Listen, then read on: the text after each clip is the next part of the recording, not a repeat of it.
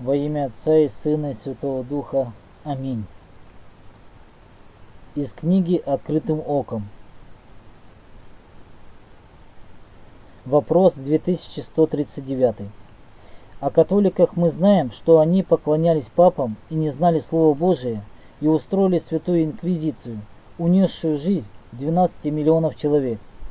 Миновала ли участь эта русскую православную церковь? Отвечает Игнатий Тихонович Лапкин.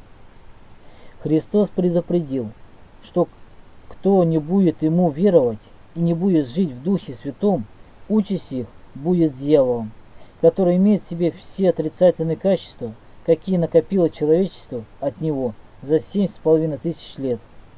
Но самые характерные признаки дьявола – это ложь и убийство. В это же он, он втягивает абсолютно всех своих последователей – кто и где бы ни отступали от Библии, они тут же скатываются в ноги сатаны, рисуем его с раздвоенными копытами козла, хотя у него и своя жвачка. Евангелие от Иоанна 16.2 «Изгонит вас из синагог, даже наступает время, когда всякий убивающий вас будет думать, что он тем служит Богу».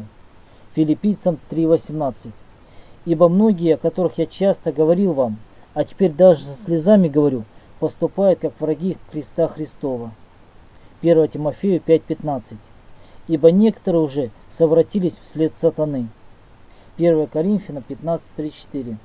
Отрезвитесь, как должно, и не грешите, ибо к стыду вашему скажу, некоторые из вас не знают Бога.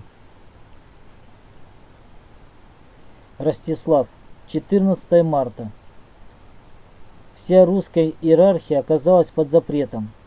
Климент запретил одну группировку, а Константин другую. Кирилл Туровский 28 апреля одобрил казнь епископа Феодора Белого Клубочка в кавычках в 1169 году, которого казнили, отрезав уши, нос, лишили глаз и тому подобное.